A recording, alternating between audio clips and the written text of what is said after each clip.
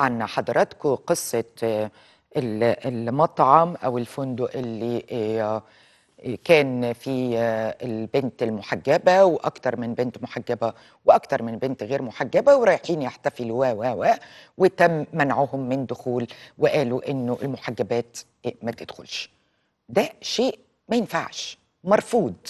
ومرفوض حتى إنه حد يقعد يتناقش فيه يقول لك لا أصل هو ومش هو لا.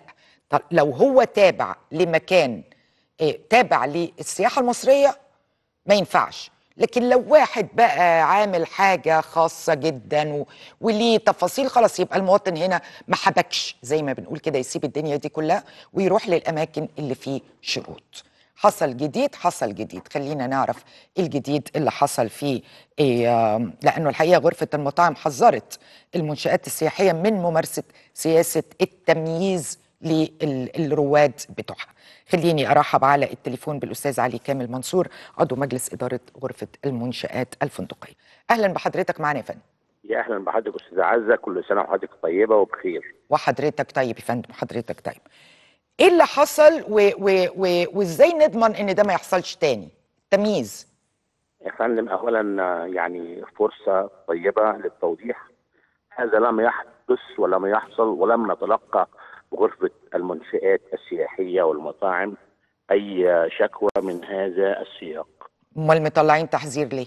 لا هم مين مطلع تسحب إحنا ما عندناش غرفة. المطاعم لا لا بتحذر فندم، المنشآت أنا السياحية. بنرحب بنرحب بالطوب العربي ايا كان كويتي سعودي بحريني إماراتي.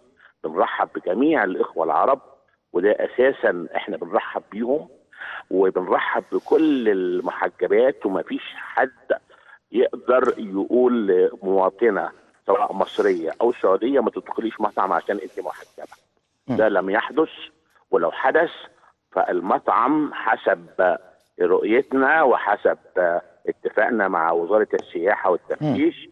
سوف يغلق المطعم في حالة المخالفة لأي تضرر لأي مواطن سواء مصري أو عربي يدخل بالثوب أو الجلباب أو أنا بتكلم على على على الحجاب المصري كمان. الحجاب المصري نرحب بيهم وفوق دماغنا. لو حصل بتبقى العقوبات إيه بعد إذن حضرتك غلق المنشأة فورا. غلقها فورا. غلق للمنشأة فورا وده مم. كلام أنا بقوله عن لسان علي كامل منصور بتوجيهات وزارة السياحة وعندنا وزارة قوية.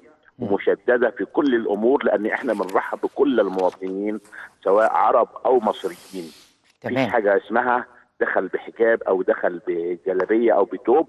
مم. الكلام هذا غير طبعا صحيح وما حصلش يعني وإحنا ما تلقناش أي حد. لو شكوى حد عنده واقعة زي كده يتفضل إحنا ما ما نقولش الكلام ده لكن إحنا ده ده ضد منشأة بعينها. دي كانت ترويع لمنشأة. ترويج ده كان ترويج. آه لكن آه. إحنا ما حصلش من ال عندنا ال أي القصة دي كان حد بيروج للمكان بتاعه.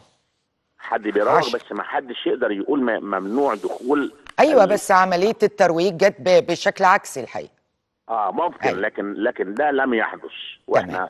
قعدنا في اجتماع في هذا الموضوع وشددنا انه هذا لو حدث لأي مواطنة سواء مصرية أو عربية المنشأة تغلق فورا. بشكرك بشكرك فندم بشكرك أستاذ علي كامل منصور بشكرك شكرا جزيلا هطلع فاصل سريع بعد الفاصل هيشرفني.